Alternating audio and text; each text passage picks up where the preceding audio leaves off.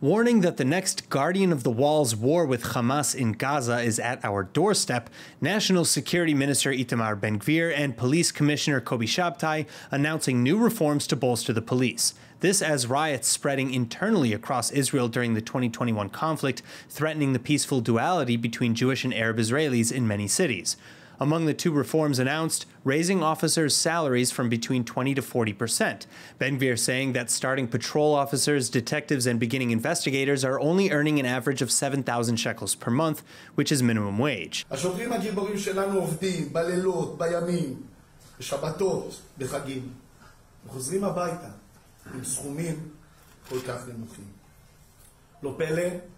שבשנת 2021 התפטרו 631 שוטרים, פי שניים מאשר 2020.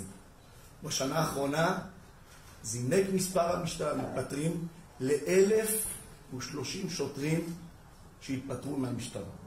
Additionally, the police will look to hire some 4,000 new recruits in the next two years, as some cities like Beersheba today are sporting just seven patrol cars for the 210,000 member community.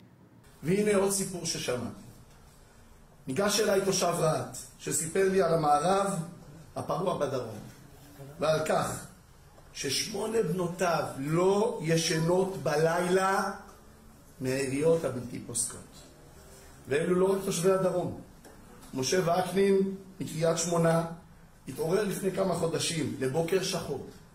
המשאית שלו, המשאית שממנה הוא מתפרנס, במשך שנים הוצתה, רק כי הוא לא הסכים להיכנע לכנופיית הפרוטקשן. And second, the establishment of a National Guard to deal with sudden crises like the 2021 May riots. The National Guard force will be comprised of some 10,000 combat ready volunteers, as well as a doubled border patrol and the expansion of special units' roles like that of the Yamam.